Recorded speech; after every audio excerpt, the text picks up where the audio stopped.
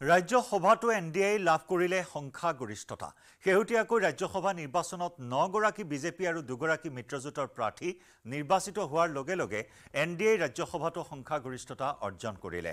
অসমৰ পৰা বিজেপিৰ মিছন ৰঞ্জন দাস আৰু ৰামেশ্বৰ তেলীৰ দৰে ৰাজ্যসভাৰ বাৰখন আসনতে বাৰগৰাকী প্ৰাৰ্থীয়ে বিনা প্ৰতিদ্বন্দ্বিতাৰে জয় লাভ কৰিছে।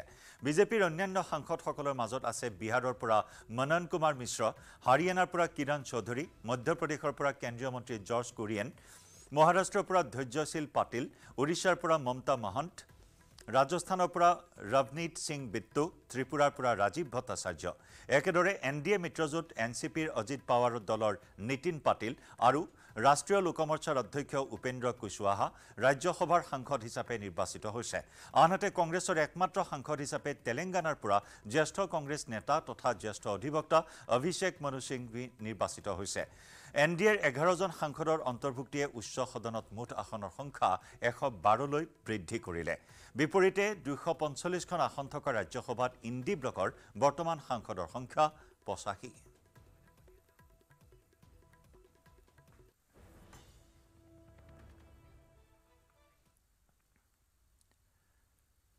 নগাঁও জিলা মৎস্য ব্যৱসায়ী সন্থাই উজনিলৈ মৎস্যৰ যোগান বন্ধ কৰাৰ পিছতে ৰাজ্যজুৰি অব্যাহত আছে প্ৰতিক্ৰিয়া। নগাঁৱৰ পৰা মাছ নগ'লে উজনিত কোনো প্ৰভাৱ নপৰে বুলি দাবী উজনিৰ অসমৰ ৰাইজৰ। টিয়কত ফিছাৰীৰ মাছ বজাৰলৈ নিয়া যোজা মৎস্যপালকসকলৰ টিয়ক অঞ্চলৰ কেইবাটাও বৃহৎ বৃহৎ ফিছাৰীত মৎস্য পালন কৰিছে কেইবাজনো অসমীয়া যুৱকে। প্ৰতিদিনে যোৰহাটৰ লগতে বিভিন্ন প্ৰান্তলৈ মাছ যোগান ধৰা হয় এই ফিছাৰীকেইটাৰ পৰা। নগাঁৱৰ পৰা মাছ নাহিলেও উজনিৰ বজাৰত মাছ উভয় নদী হৈ থাকিব বুলি মন্তব্য উজনিৰ মৎস্যপালকসকলৰ।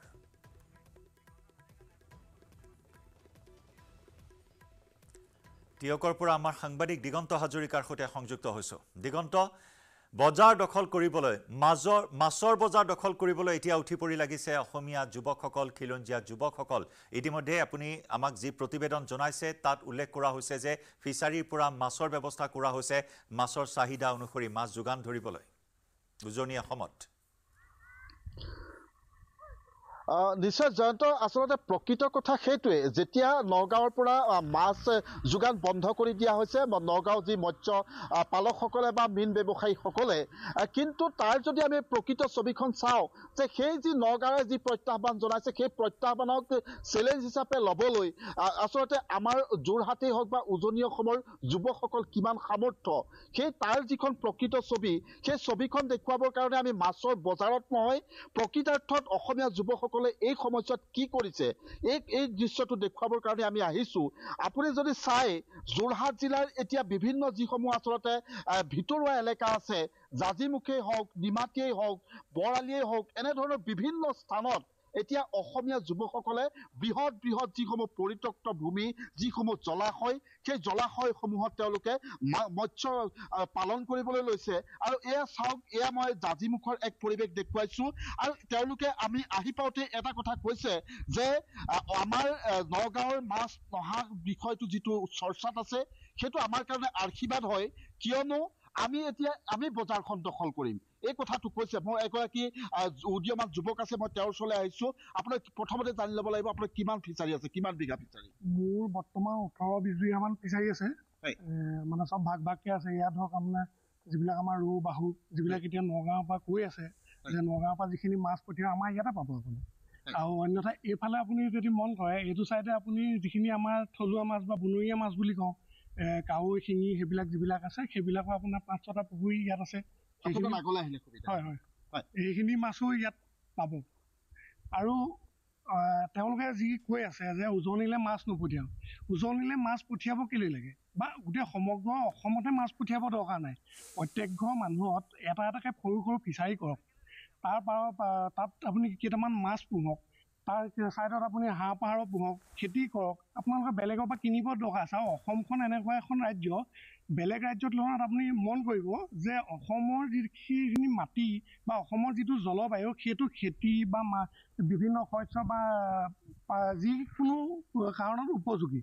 আৰু আপুনি বেলেগত আজি খেতি এটা কৰিবলৈ গ'লে আপুনি পানীৰ অসুবিধা পাব বা বতৰৰ অসুবিধা কিন্তু আমাৰ ইয়াত নহয়। আপুনি আপুনি এইসমূহ ফিচাৰীৰ পৰা কিমান মাছ যোগান ধৰিব পাৰে বছৰটোত? বছৰটোত আপোনাৰ তিনি মাহৰ মূৰে মূৰে আপোনাৰ বিছ কুইণ্টেল বাইছ কুইণ্টেল তেনেকুৱা মাছ আমি ইয়াৰ পৰা দিব পাৰোঁ। তিনিমাহ সময় লাগে। ধৰক অলপ মেচিয়ৰ হ'বলৈ। যদি আপুনি কৰোঁ বুলি কয় আপুনি এক দুই মাহৰ পিছতো আপুনি মাছ ধৰিব পাৰে ডেইলিও ধৰিব পাৰে। সেইটো কোনো নাই কিন্তু চাইজটো যদি বঢ়াম বুলি কওঁ অকণমান টাইম দিবলগীয়া হয়। কাৰণ মাছটো অলপ যেতিয়া টাইম হ'ব তেতিয়াহে আপোনাৰ ডাঙৰ হ'ব। আৰু আৰু যিহেতু ইয়াতে বিভিন্ন আৰু আপোনাৰ দৰে বহুতে কৰিছে? হয় হয় নিশ্চয় নিশ্চয়। এই ইয়াত আপুনি মন কৰক ইয়াত আপুনি নাই কমেও ইয়াত এশ ডেৰশ পুখুৰী পাব। আৰু এইবিলাক বহুত দামী মাটি নহয়। এইবোৰ যিবিলাক পৰিত্যক্ত মাটি আছিলে বা জলাশয় আছিলে সেই গোটেইখিনি কে মানে এটা ন ৰূপ দি এটা মানে ব্যৱসায়িক দিশেই হওক বা নিজৰ মানে চখেই হওক বা যিয়ে হওক সেইটো এখন মানে পৰিণত কৰা হৈছে। আপুনি এতিয়া আপুনি অলপ আগলৈ গ'লেও দেখিব যে মানে নাই কমেও এনেকুৱা আৰু বিছ পঁচিছ জেগাত মানে এনেকুৱা ডাঙৰ ডাঙৰ ফিচাৰী। আছে। দিগন্ত সংযুক্ত হৈ থাকিব। সৰু পথাৰৰ পৰা দেৱাশিষ গৌতমো আছে আমাৰ সৈতে। দেৱাশিষ এই মুহূৰ্তত পুনৰ প্ৰতিক্ৰিয়া আমি জানিব বিচাৰিম। গ্ৰাহকৰ প্ৰতিক্ৰিয়া কেনেকুৱা? লগতে স্থানীয় ব্যৱসায়ীসকলৰ প্ৰতিক্ৰিয়া কেনেকুৱা? জয়ন্ত মই এইখিনি এটা ব্ৰেকিং নিউজ দিব বিচাৰিছো যে সৰু পথাৰত বৰ্তমান নগাঁও মাছ উপলব্ধ হৈছে আৰু নগাঁও মাছ খটখটি নগা নাগালেণ্ডে নাগালেণ্ড হৈ নগাঁও মাছ নগাঁও যি মাছ আহে সৰু পথাৰ বজাৰত সোমাই পৰিছে। মই সেই দৃশ্য দেখুৱাব অনুৰোধ কৰিছো যে এই যিখিনি মাছ আছে এই মাছখিনি হৈছে নগাঁৱৰ মাছ আৰু নগাঁৱৰ মাছখিনি ডাইৰেক্টলি অহা নাই তেওঁলোকে আহিছে নাগালেণ্ডৰ নাগালেণ্ড আৰু খটখটি হয় অসম নাগালেণ্ড সীমান্তৱৰ্তী নাগালেণ্ডৰ খটখটি হৈ তেওঁলোকে মাছ আনিছে গোপনে মাছ আনিছে আৰু যিহেতু তেওঁলোকে মাছ ইয়াত নগাঁৱৰ মাছ বুলি আহি তেওঁলোকে বিক্ৰী কৰিব নোৱাৰে তেওঁলোকে এই ধৰণে ন- এ, ক- নাগালেণ্ডৰ ফালৰ পৰা আনিছে। মোৰ যিসকলে মাছ আনিছে তেওঁলোকৰ মোৰ লগত আছে? ক'ৰ পৰা আনিছে মাছখিনি? মাছটো মইতো এই সৰু মাছকেইটা আনিলো যোনে আনিছে সেইজনতো এতিয়া নাই বৰ্তমান। এইটো কৈছে ডিমাপুৰত নিউলেণ্ডৰ পৰা আনিছে বুলি। ক'ৰ পৰা আহিছে? মাছটো ক'ৰ পৰা আহিছে? মাছটো কোনে মাছটো চাপ্লাই কৰা? কোনটো? এই সৰু মাছটো মই আনিছো। হা? মাছটো ক'ৰ পৰা আহিছে? মাছটো ক'ৰ পৰা আহিছে? মাছটো ক'ৰ পৰা সেইটো মই ক'ব নোৱাৰো ডাইৰেক্টলি যে কোন জেগাৰ মাছ। অলৰেডি আৰু হৈ গ'ল মই যোনটো আনিছো মাত্ৰ এইটো সৰু মাছ পুতি মোৰ আছে। এইকেইটা মোৰ আচলতে যিজন মানুহে মাছ আনিছে ইতিমধ্যে তেওঁ পলায়ন কৰিছে আৰু মোৰ যথেষ্ট স্থানীয় লোক আছে মোৰ আছে চেম্বাৰ্ছ অফ কমাৰ্চৰ ব্যক্তিসকলে মোৰ লগত আছে মই তেওঁলোকৰ ওচৰত যাব বিচাৰিছো। দাদা কি ক'ব? সুমন দা যিহেতু নগাঁও মাছটো আমাৰ বন্ধ এ, ন- নপঠিয়াব বুলি কৈছিলে তাৰপিছত দেখিছে গোপনে নাগালেণ্ডৰ থ্ৰুৱেদি খটখটি থ্ৰুৱেদি নগা- এ, নগাঁও মাছ আহি কিন্তু সৰু পিঠা বজাৰ ভৰি পৰিছেহি। চেম্বাৰ্ছ অফ কমাৰ্চৰ সভাপতি হিচাপে কি ক'ব আপুনি? নাই নাই একদম এইটো খাটাং কথা সেই যে যিবিলাক দমফালি মৰা মানুহবিলাকে যে একচুৱেলি তেওঁলোকো বেপাৰী নহয় তেওঁলোকে এটা অসাধু প্ৰক্ৰিয়া মানে পন্থা হাতত লৈ এই এটা বজাৰত তেওঁলোকে নেক্সাছ তৈৰী কৰিব লৈছে। আজি চাওক সকলোতে তেওঁলোকে এই টেকনিকটো এপ্লাই কৰিব। ইয়াত বুলি নহয় সৰুপথাৰ আজি উজনি অসমতে পৰে আজি ইয়াত নগাঁও বুলি নহয় তেওঁলোকৰ এটা নেক্সাছ বেপাৰীয়ে কেতিয়াও যদি ব্যৱসায় হয় তেওঁলোকে কেতিয়াও বন্ধ কৰাৰ কথা নকয়। তেওঁলোকে এটা হয় কিছুমান ৰাজনৈতিক লগত তেওঁলোক মিলি আছে মিলি এই ধৰণৰ কথা কৈছে। এটা বেপাৰীয়ে কেতিয়াও বন্ধৰ মানে ইয়াত পক্ষ নহয় বন্ধৰ নকয় আৰু তেওঁলোকে যিটো প্ৰত্যাহ্বানৰ কথা দিছে তেওঁলোকে এনেকে ধৰণৰ প্ৰত্যাহ্বান তেওঁলোকক ৰাজনৈতিক আমাৰ লাগে তেওঁ ৰাজনৈতিক কিবা ধৰণৰ তেওঁলোক আছে আৰু তেওঁলোকে এটা অসাধু তেওঁলোকে ইনকাম কৰাৰ এটা নেক্সাছ তৈৰী কৰাৰ হয়। নগাঁৱে গোটেই অসমত আটাইতকে হায়েষ্ট মাছ উৎপাদন কৰে মৰিগাঁও ইয়ে উজনি অসমত কম কৰে। কিন্তু তাৰ মানে এইটো নহয় যে তেওঁলোকে নেক্সাছ কৰিব চিণ্ডিকেট কৰিব লৈছে। এইটো আমি তাত দেখা পাইছো। আজি সৰু পথাৰৰ উপলব্ধ এইটো এটা উদাহৰণ বুজায় যে এনেকুৱা তেওঁলোকৰ এটা মাৰ্কেটিং গোটেই অসমত বিয়পি আছে উজনি অসমত আৰু তেওঁলোকে চিণ্ডিকেট কৰিব। কেতিয়াও এটা বেপাৰীয়ে যদি সঁচা বেপাৰী হয় সি বেলেগ ৰাস্তাত বিক্ৰী কৰাৰ পন্থাহে ল'ব আৰু সেইটোৱে তেওঁলোকৰ সেই দমফালি মৰা কথাটোক কিন্তু বাৰে প্ৰতি মানে ভাঙিছে যে তেওঁলোকৰ মাজত যে মিল নাই সেইটো বস্তু আজি অসমে সৰু পথাৰৰ পৰা চাই লওক যে এই ধৰণৰ তেওঁলোকে এটা মাৰ্কেট কৰি আছে। নিশ্চিতভাৱে তেওঁলোকে বিকল্প পন্থাৰে মাছ বিকিব লৈছে। মুঠত আৰু লোক আছে কি ক'ব দাদা? আপুনি যিহেতু এই এ, নগাঁও মাছৰ বিষয়ে জানে। চৰকাৰে যিসকল এইবিলাক দাবী কৰিছে অৱশ্যে এইটো হ'ব নালাগে। আৰু যেতিয়া বন্ধ কৰিবলৈ দিয়া হৈছে উজনি অসম অল আছামত বন্ধ কৰিবলৈ দিয়া হৈছে। এইটো চৰকাৰে কিয় এনেকুৱা ৰাজনীতি কৰিছে? এইটো কৰিব নালাগে। এতিয়া বেপাৰীয়ে কৰিব লাগে নিশ্চয় দেৱাশিষ অৰ্থাৎ এই কথা ইয়াৰ পৰাই প্ৰমাণিত হৈছে যে এফালে মৎস্য জেহাত ঘোষণা কৰিছে যদিও আনফালে তেওঁলোকে চোৰাংকৈ সৰু পথাৰত মাছ বিক্ৰী কৰি আছে নগাঁৱৰ মাছ বিক্ৰী কৰাৰ এই তথ্য বিস্ফোৰক তথ্য প্ৰকাশ পাইছে। সংযুক্ত হৈ থাকিব মঙলদৈত মাছৰ বজাৰ কেনেকুৱা সেয়া আমি বুজ ল'ম। মাছৰ বজাৰত প্ৰভাৱ পৰিছে নেকি?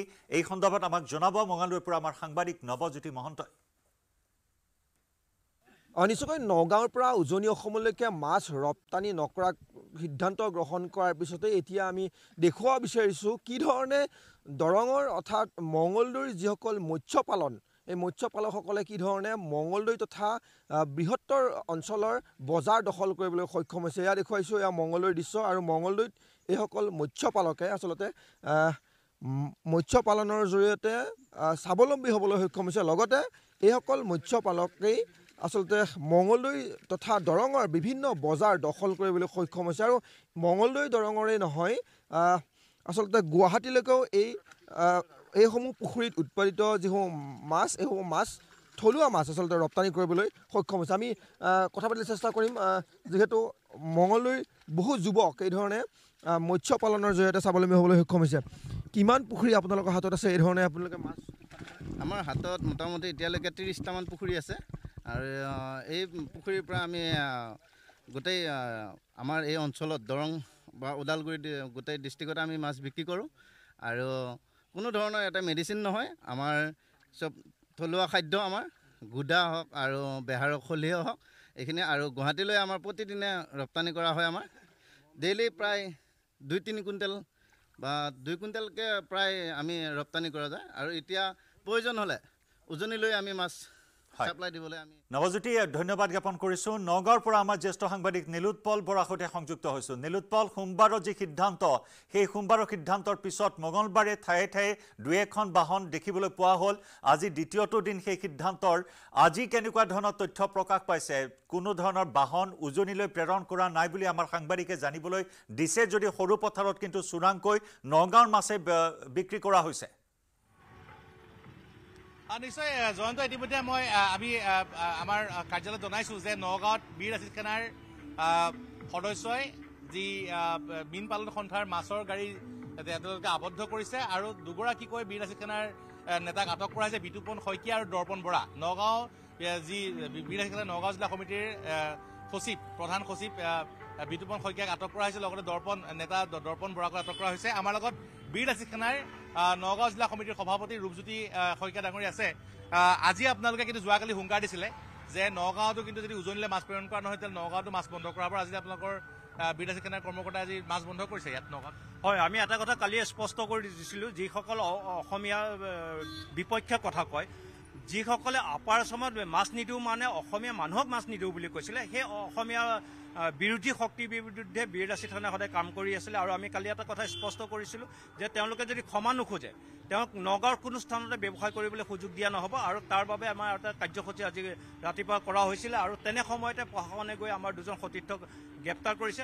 এটা কথা স্পষ্ট কৰি দিওঁ যে গ্ৰেপ্তাৰ কৰক জেল দিয়ক বা ফাঁচিও যদি দিয়ে লাচিত খানৰ বীৰ লাচিত খানৰ কোনো সৈনিকে কেতিয়াও বিচলিত নহয়। এই সংগ্ৰাম অব্যাহত থাকিব। অসমীয়া বিৰোধী শক্তিৰ বিৰুদ্ধে সদায় বীৰ লাচিত খানাই বজ্ৰকণ্ঠৰে মাত মাতি যাব আৰু কোনো কণ্ডিশ্যনত নগাঁৱত কোনো অনা অসমীয়া ব্যক্তিক ব্যৱসায় কৰিবলৈ দিয়া নহ'ব সেইটো স্পষ্ট কথা। নিশ্চয় জয়ন্ত এই মুহূৰ্তত আপুনি জনাব পাৰে যে নগাঁৱত কিন্তু বীৰ লাচিত খানাই যি অৰ্থনৈতিক অৱৰোধ যি কৰিছিলে তেওঁলোকে যি কৈছিলে যে মীন মীন পালন সন্থাই যি কৈছিলে যে উজনি অসমলৈ মাছ পেলা নিয়া যোগান দিয়া নহ'ব প্ৰয়োজনত পেলাই দিয়া হ'ব কিন্তু বীৰ লাচিত খানাই এতিয়া। নগাঁৱতো মীন পালন সন্থাক মাছ বেচিবলৈ নিদিওঁ বুলি কৈছে আৰু তাৰ আজি তেওঁলোকে তাৰ প্ৰতিক্ৰিয়াস্বৰূপে তেওঁলোকে কিন্তু আজি দেখিবলৈ পোৱা গৈছে যে নগাঁৱত আজি পুৱাই বৰবজাৰত মাছ বন্ধ কৰিছে আৰু নগাঁও সদৰ আৰক্ষীয়ে দুগৰাকীকৈ বিৰাজী সেনাৰ নেতাক আটক কৰিছে। কিন্তু তথাপিও তেওঁলোক ক্ষান্ত নহ'ব বুলি কৈছে।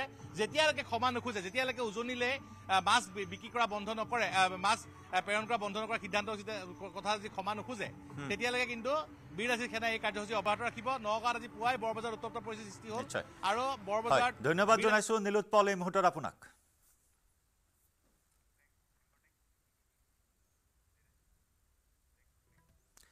লাইভাৰত খবৰৰ ধাৰা অব্যাহত ৰাখিম লৈছোঁ আন এটি চমু বাণিজ্যিক বিৰতি পাইথন ষ্টীল নহয় অ ওচৰ চুবুৰীয়াসকলে লগাইছে ষ্ট্ৰং মানে মাইথন ষ্টীল